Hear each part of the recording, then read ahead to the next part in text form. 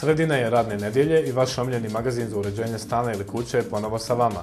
Danas vam, kao što ste i navikli, donosimo redovan savjet za uređenje stana i predstavljamo jedan od vaših potencijalnih proizvoda. Zbog toga ostanite sa nama u naredne dvije minute i budite u toku šta vam to danas nude saloni Top Meblo i fabrika namještaja Standard Sarajevo.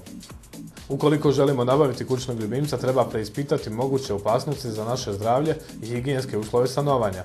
Prljavština koju unose izvana u naš intimni prostor može postati uzrokom mnogobrojnih oboljenja i neprijatnosti.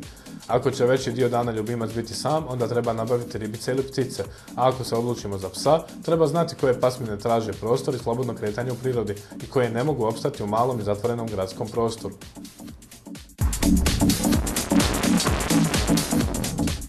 Za ovo izdanje Top Meblo Home Info izdvojili smo ovu veoma lijepu uredsku stolicu koja bi se mogla naći u svakoj kancelariji. Ovaj odlično dizajnirani proizvod pored naslonjača za ruke posjeduje još istapacirano sjedište, te se može podesiti po visini.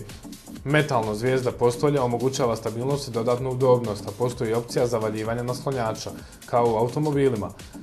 Stolica ima veoma prisutnu cijenu i može biti samo vaša za 209 konvertibilnih maraka. Ne gubite svoje zdravlje sjedeći na neudobnim i nezdravim stolicama jer ako ste uredski radnik, trećinu života provodite sjedeći. Zdravlje je nešto neprocjenjivo i zato vam preporučujemo da ovu stolicu razmotrite što je moguće prije. Gledajte nas svakim radnim danom na Hayat televiziji od 17.30. Čitajte na portalu sarajevox.com i svakim radnim danom na portalu ikapija.ba. Srijedom pronađite prilog u dnevnom avazu te pročitajte naš članak. Slušajte nas na radiju Stari grad u okviru emisije RSG Tour.